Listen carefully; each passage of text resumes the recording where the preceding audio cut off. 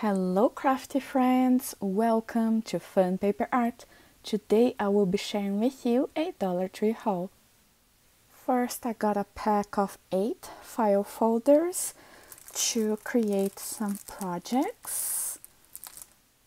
Then I got 4 of these craft storage boxes in pink color.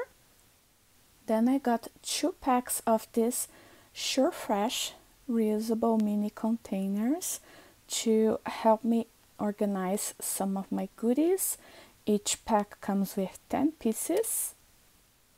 Got 4 pieces of this yellow chenille yarn that is so cute and so soft. Got 4 of the mint ones. Got 3 of the blue two of the lavender, two of the black for Halloween, and six of the white ones. And I am still on the hunt for the pink ones.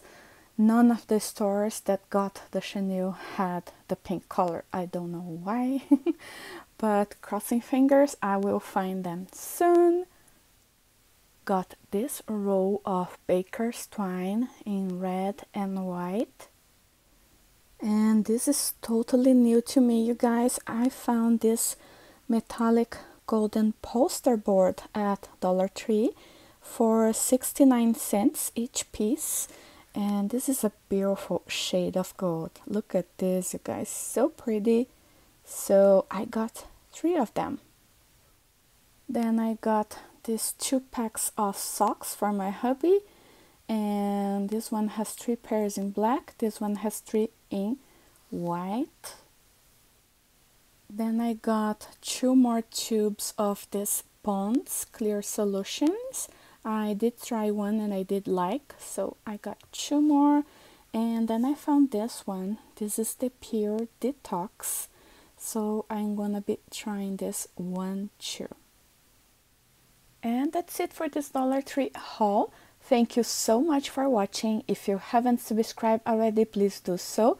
I would love to have you in the Fun Paper Art family. I wish you all a lovely day and I hope to talk to you pretty soon. Bye bye!